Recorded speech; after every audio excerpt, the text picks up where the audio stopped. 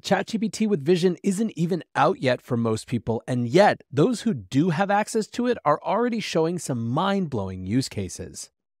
Today, we are looking at the fruits of one of the more exciting AI product announcements recently, which is, of course, ChatGPT with Vision. Today, we're going to go through eight different ways that people are already discovering how to use this new tool in hopes that they give you ideas for how you might use it when it becomes widely available.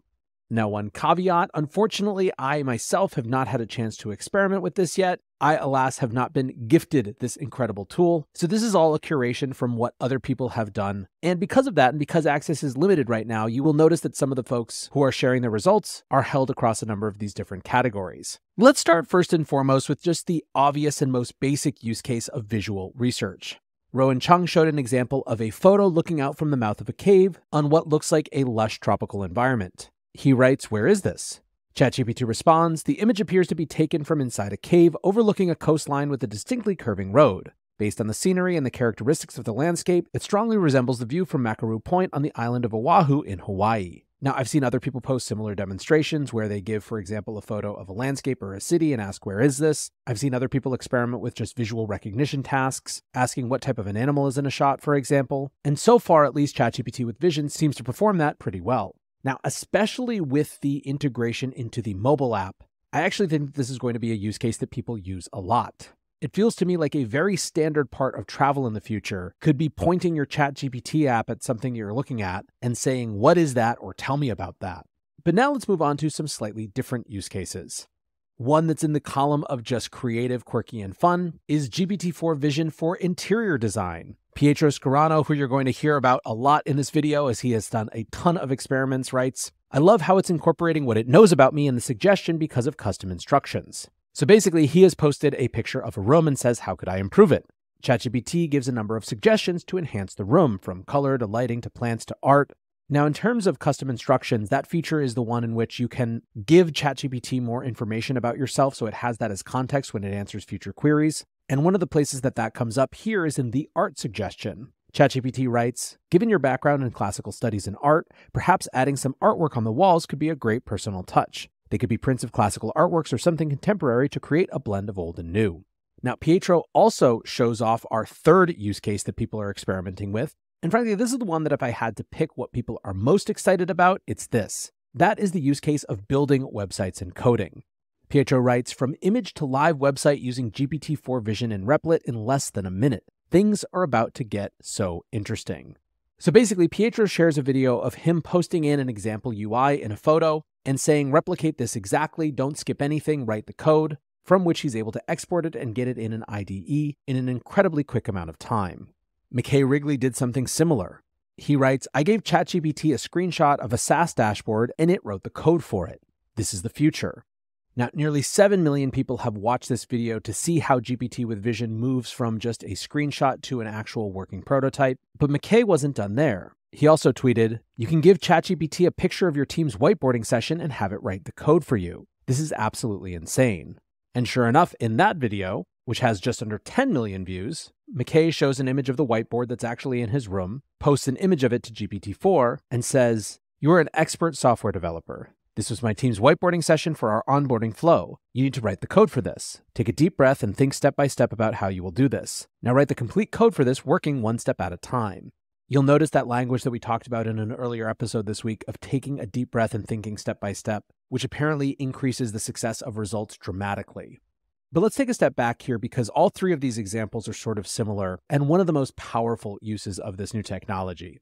When people talk about why AI, even though it will disrupt the jobs of today, will enable new jobs, I think you start to get a glimpse of that watching these types of demos. The reduction in the barrier between idea and execution is so monumental here that from a silly, hard to interpret image on a whiteboard, within minutes there can be working code is just unlike anything we've seen. It's hard for me to imagine that that doesn't increase the quantity of what we produce.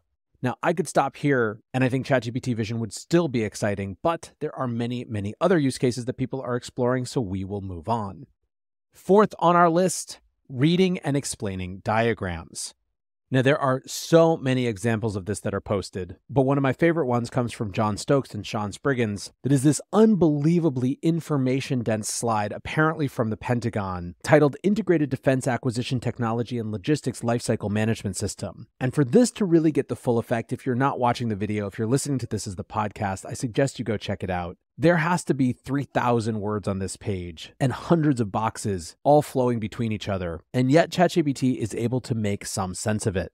Now, one of the things that's interesting about being able to understand diagrams is that some diagrams are also entirely different types of information. For example, Marco Mascorro posted the electronic schematics of the Arduino design, and ChatGPT with Vision was able to understand that it was an electronic circuit and explain how the different components interconnected and worked. Now, another example of breaking down a diagram suggests a fifth use case, which is education. McKay once again writes ChatGPT breaks down this diagram of a human cell for a ninth grader. McKay posts a picture of the type that you might see in any sort of standard science textbook, and ChatGPT gives a ton of additional information about what each of the different components are and what they do in the context of the cell. Now, what he also shows in this video is that it's not just the initial result, but that you can interact with ChatGPT to ask for further clarification this sort of dialogue between machine and person is like a non argumentative Socratic dialogue, but coming to AI. Now, the flip side, of course, is that education systems are going to have to have a real rethink when it comes to homework. Peter Yang posted a worksheet from mathaids.com with a bunch of addition problems into GPT Plus and says, Give me the answers. ChatGPT says, Certainly, let's solve these addition problems. Peter's comment sharing it to Twitter is, Kids will never do homework again. I actually had a conversation today about the fact that if teachers can figure out exercises that are actually valuable for kids to do that aren't something that ChatGPT can do, it's likely to mean that that's a much more valuable use of those kids' time, frankly, when it comes to learning. Now, from here, we move into some higher order type of use cases. I'm calling use case number six higher order interpretation. And in some ways, it's a variation on the theme of explaining diagrams. But one of the examples, once again from Pietro, shows that there's a lot more than just image recognition going on here. The image that Pietro inputted to ChatGPT was a four panel cartoon in which three people say, I'm glad we all agree, each thinking about a different shape. One thinking about a square, one thinking about a circle, one thinking about a triangle. The second panel appears to show the images revealed, at which point the three people realize that they actually didn't agree. A third panel seems to show a transmutive process where the shapes combine to become a different shape, to which all the participants say aha. And a fourth panel repeats the message from the first, I'm glad we all agree, but with each of the participants actually thinking about the same shape. When Pietro asked, What do you think is the meaning of this image? ChatGPT responds, The image portrays the concept of group dynamics and perspectives. It's then able to articulate what happens in each of the panels and how they relate to one another, and comes to the conclusion that, quote, Overall, it seems to highlight the importance of communication, understanding, and alignment in group settings. It suggests that even if individuals think they are aligned, without clear communication, misunderstandings can occur. But with effort and discussion, a shared understanding can be achieved. But what's so different about this example in particular is just how much interpretation and understanding of group dynamics and things like that go into this. It's not just an electronic circuit which can be recalled, as complex as it might be, this really does feel like it requires higher order thinking and is in that way a pretty fundamentally different use case than what we've seen before. Somewhat related to that higher order thinking, one more from Pietro. He writes using GPT 4 Vision to name never before seen architectural styles created with Midjourney. It excels at identifying diverse elements and assigning names to these distinctive creations. So I'm calling this seventh category of use cases creative expression. The images that Pietro shares are a little hard to see, but they look like they have big marble stone, sumptuous classic bedroom furniture, but combined with interesting modern touches and lights. ChatGPT says, observing the blend of traditional Greco Roman motifs and elements with sleek modern lines, innovative lighting, and contemporary furnishings, I would suggest the name Athenian Modernism. Then goes on to explain why it wants that name, but I think it's pretty perfect and once again feels a bit higher order than just interpreting what's in a photo from the real world. And this gets us to our eighth and final use case, easily the most important. Once again, we turn to Peter Yang, who has presented ChatGPT with Vision an image of the most confusing set of street parking rules that you have ever seen. No parking 11 to 1 Tuesday street cleaning, tow away school days, no stopping Monday to Friday, school day exceptions, tow away school days. This is six feet tall at least of parking rules. Peter posts the image in and says, It's Wednesday at 4 p.m. Can I park at the spot right now? Tell me in one line.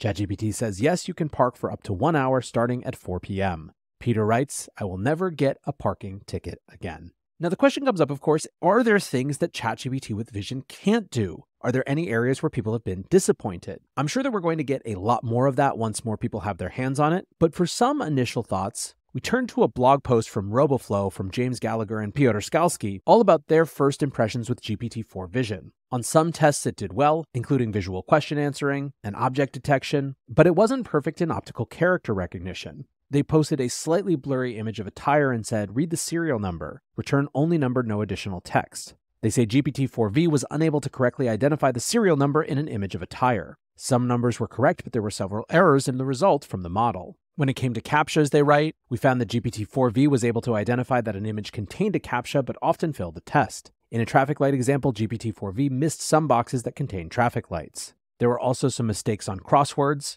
they write the model appeared to read the clues correctly but misinterpreted the structure of the board. As a result, the provided answers were incorrect. The same limitation they say was exhibited in their Sudoku test. Now, these may seem like minor quibbles with such an impressive piece of technology, and they are. I present them only just to try to give a more robust picture and reminder of the fact that, as incredible as this is, it isn't perfect and there are still advances to be made. But overall, it is a fairly huge update, and it makes sense why many people inside OpenAI think that this is the biggest product launch in some ways that they've had since ChatGPT came out in the first place. Anyways, guys, hope you are as excited as I am about getting your hands on GPT with Vision. I know I will be eagerly refreshing until the day it actually shows up. Appreciate you listening as always, and until next time, peace